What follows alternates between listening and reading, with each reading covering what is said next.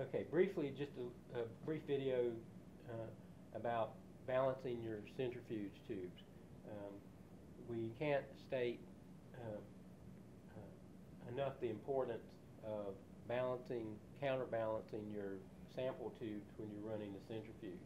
And a simple way of doing that um, is with a trip balance. And here we have a two-pan dual beam uh, balance, and in the balance position, it's going to have the um, marker there on um, that line.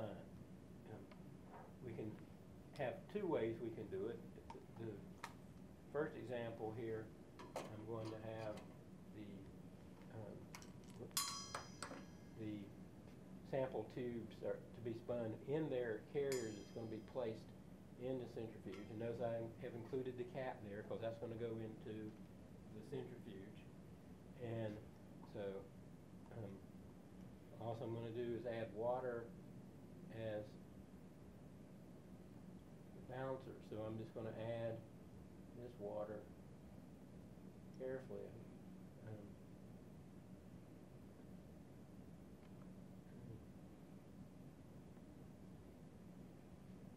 until those tubes are balanced.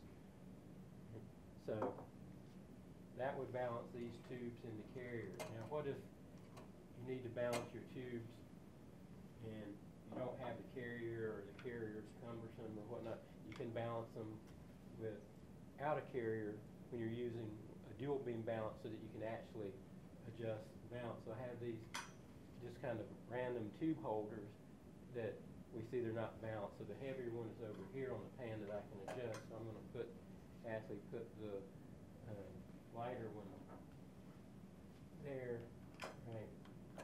And so what I'm going to have to do is to balance them against each other here.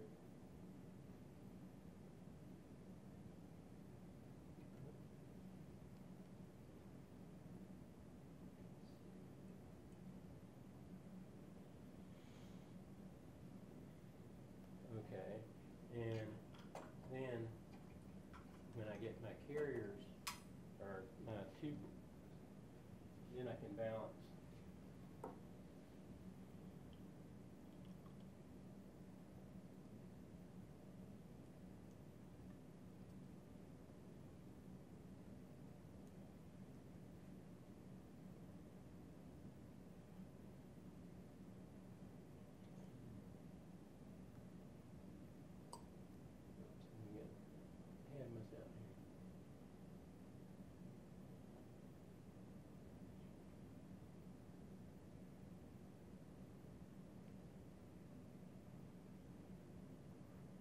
Okay, so there you go. There's just two ways to use this dual pan balance to balance the tubes against each other you're, that you're um, spinning. You can either do it in the carrier and tube and all that's going in the centrifuge, or you can balance the tubes um, um, that are going in the carrier.